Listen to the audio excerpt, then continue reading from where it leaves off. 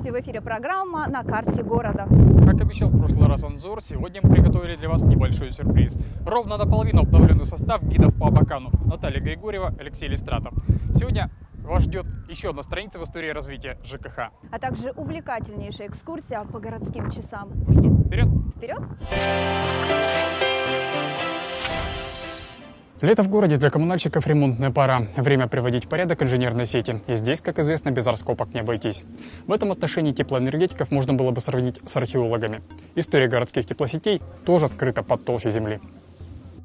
Проводившиеся весной 2017 года в Абакане гидравлические испытания на сетях выявили массу дефектов и уязвимых мест. Добавили коммунальщикам работы, а заодно открыли несколько новых страниц в истории теплоснабжения столицы бывшей Хакасской автономной области. Эта большая система состоит из локальных участков, которые до сей поры еще не до конца сведены в единое целое. Начать хотя бы с того, что и строились-то сети в разных районах Абакана по-разному, в зависимости от назначения, кто и зачем их прокладывал. Действительно, сейчас отличаешь вот теплосети, особенно старые, не только трубы сделаны из того, что было, но и железобетонные конструкции. То есть мы на улице Пушкина, когда устраняли порыв буквально в конце мая, вместо железобетонных лотков теплосетевых все закрыто медиативными лотками, так, аварийными. Да. ну, видимо, что на базах снабжения в свое время было, как бы, строили, видимо, быстро, и, как всегда, там пятилетку два года давали получалось, используя то, что было на складе. Есть у нас старые сети на улице Кашурникова, в этом году мы планируем капремонт одной сети, там действительно канал выложен из плетника. Вот такие особенности коммунальных строек прошлого века. От плитника, излюбленного материала создателей царских пирамид Хакаско-Минусинской степи, до кирпича и железобетона растительных каналов. Более того, диаметры труб в тепломагистрали города также вызывают множество вопросов. Сегодня во время ремонтов энергетикам постоянно приходится их уменьшать, повышая тем самым эффективность системы теплоснабжения Абакана. Однозначно это думали раньше на перспективу, то есть э, планировалось развитие промышленных э, объектов, в частности, допустим, от улицы Советской по улице Заводской, по Складской, там планировались э, большие производства, железобетонные заводы, металлические, ну, прочее. Там действительно перспектива была заложена большая, поэтому диаметр завышен. Второй момент это, конечно, температурный график старых котельных. То есть э, раньше старые котельные работали на графике 95 на 70. Соответственно, чтобы э, пропустить необходимый объем тепловой энергии, должны были быть соответствующий диаметр трубы. То есть на сегодня у нас график 150 на 70. Диаметр нужен совершенно другие, гораздо меньше, чем для графика 95 на 70.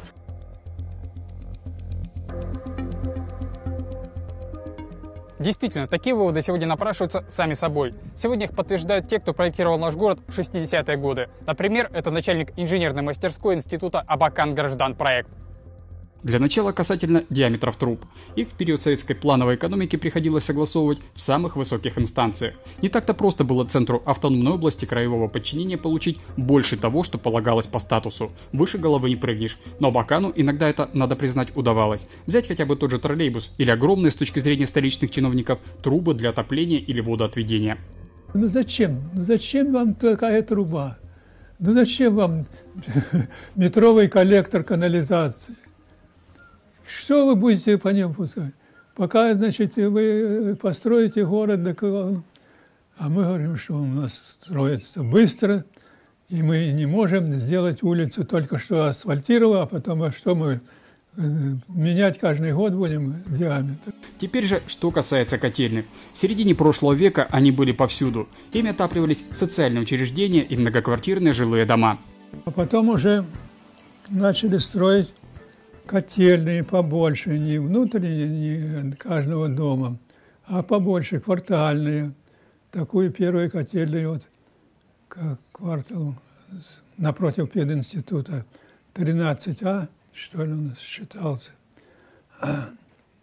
Там внутри сделали котельные до 6 котлов. Вот ответ на все наши вопросы.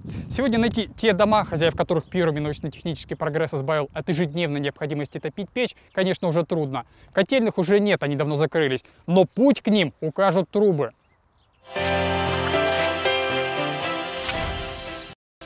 Любой исторический экскурс по Абакану начинается с Ахтигея, о чем бы мы с вами не говорили, но не в этот раз. Котельные в справочниках тех лет не значатся. На станции Абакан, которая стала вторым ядром будущей областной столицы, тоже, поэтому вновь отправляемся на раскопки. Начнем с небольшого географического ликбеза. Тепло в Абакан поступает от ТЭЦ. Она введена в эксплуатацию в 80-е годы. С запада на восток от нее проложена главная тепловая магистраль, которая разделена на три ветки. Во-первых, центральная ветка. Она проходит по улицам Советская и Пушкина. У нее есть распределительные сети на Ирыгина, Чертыгашева и Тельмана. А это северная магистраль. Она проложена вдоль реки Ташиба по улицам Торосова, Лермонтова, проспекту Дружбы народов и Крылова до Тараса Шевченко. Распределительные сети проложены там же, плюс Комарова и Торговая. В-третьих, юго-западная ветка, она же тупиковая, снабжает теплом улицы Аскизская, Перятинская и Стафата. С магистральных сетей тепло переходит в распределительные, ну а после во внутриквартальные. Вот последние-то и представляют для нас исторический интерес. Ведь закрывая котельные в 80-е годы, энергетики их редко перекладывали, использовали то, что есть. На Ахтигее таких сетей просто нет. Гавань на сегодняшний день к централизованному теплоснабжению, скажем так, э, не вся подключена. У нас э, граница централизованного теплоснабжения проходит по улице Павших Коммунаров. Это крайний дом, э, запитанный от Абаканская ТЭЦ, это кинотеатр «Космос». Вот. И дальше тут идет частный сектор и промбазы, которые ну, на индивидуальном отоплении. То есть частный сектор, понятное дело, печное отопление какое-то свое, либо электрическое. Промбаза это либо свои небольшие котельные, либо также каким-то образом не выкручиваются, а, организовывая свое теплоснабжение.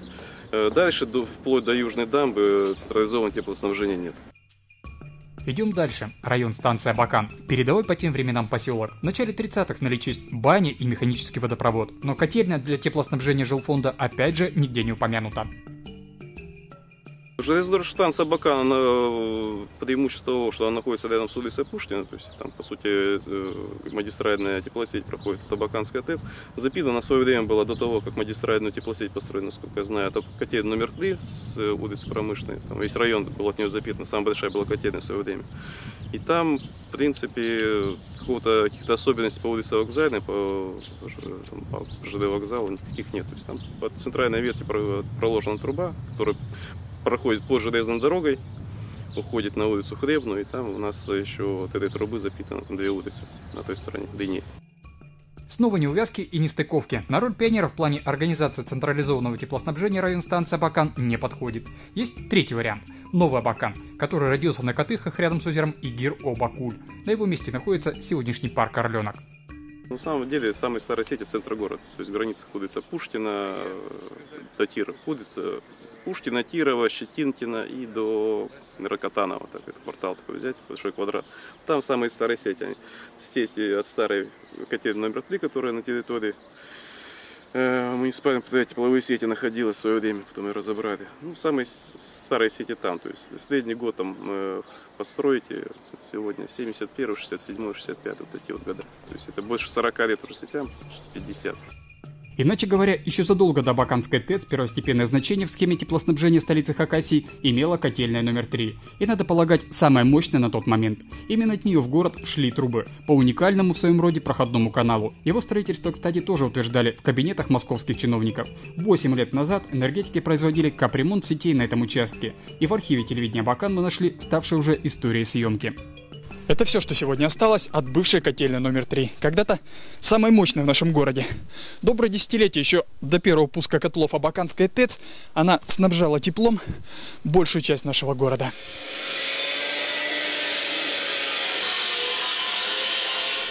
Второй такой теплотрассы в Абакане не существует. Все дело в особенностях ее конструкции. Две трубы расположены одна над другой, то есть вертикально.